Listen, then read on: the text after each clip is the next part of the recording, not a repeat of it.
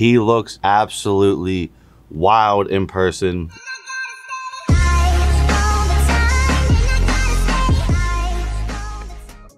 What is up, everyone? It's Russo. I hope everyone is doing well. Today's ASMR sip is sponsored by 1907. Check out 1907.com. Coupon code Russo. Coupon code Russo with Intelligent Elephant on the ASMR spritz of Intelligent Carbon.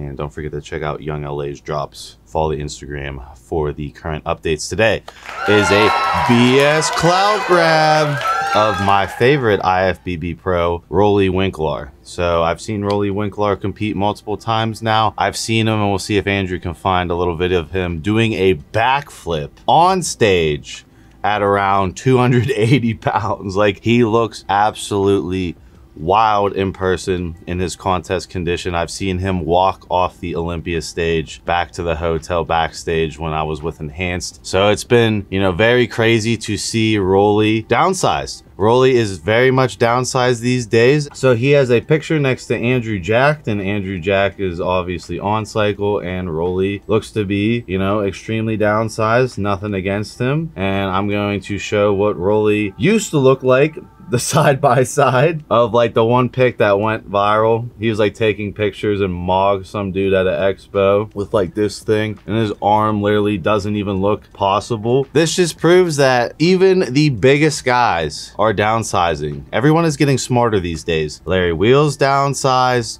We have Roelly downsized. And I guess the point of my reaction is that these physiques are temporary looks. They're temporary looks. To think or to be a fan and expect a certain bodybuilder that you aspire, you follow to maintain peak drug physique is unrealistic. You know, if you actually care and love them, you'll be with them when they downsize. You'll understand that they can't be redlining their body year after year after year after year after year without taking some sort of break. And even Roelly in the downsized photo, I mean, he looks way less water retention on his face, way healthier looking, in my opinion, and still is a freaking beast. No one's saying he's not a beast. All I'm saying is people have this perception, especially with the way Instagram is, that people are peaked year round. No, people aren't peaked year round at all. They put up this illusion that they're peaked year round, and I give Roelly credit. Roelly posted this on his main IG. No drama, right? Some guys will have entire collections of photos of them lean so they can post all year, and you think they're in extreme shape all year when they're in their off season, or they're like Roelly taking a break on TRT, HRT, and he will recreate the look again. The other thing I wanted to say is Roelly can get back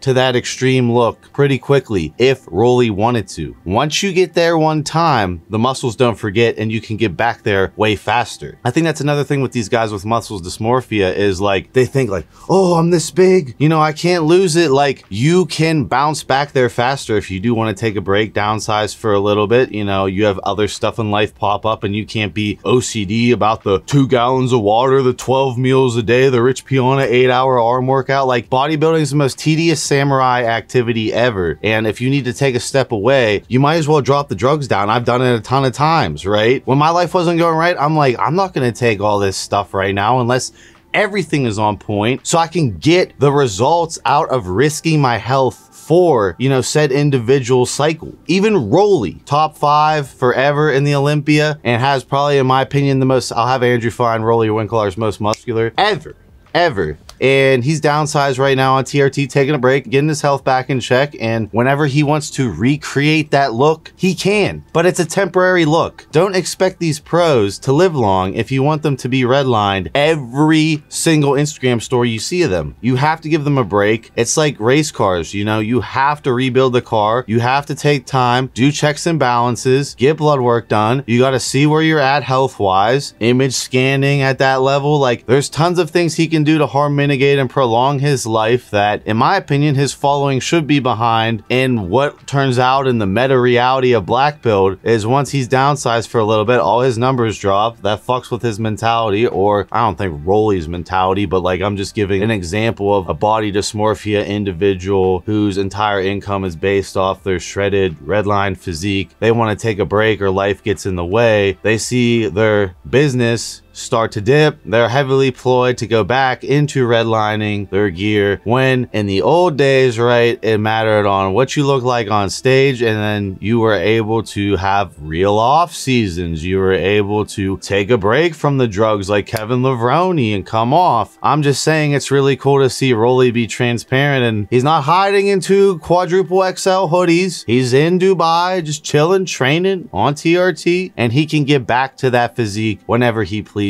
but guys, we have to have understanding that everyone is a human. Everyone is mortal, and you cannot redline drugs forever unless you want the Pied Piper to come knocking. I will see you guys in my next video.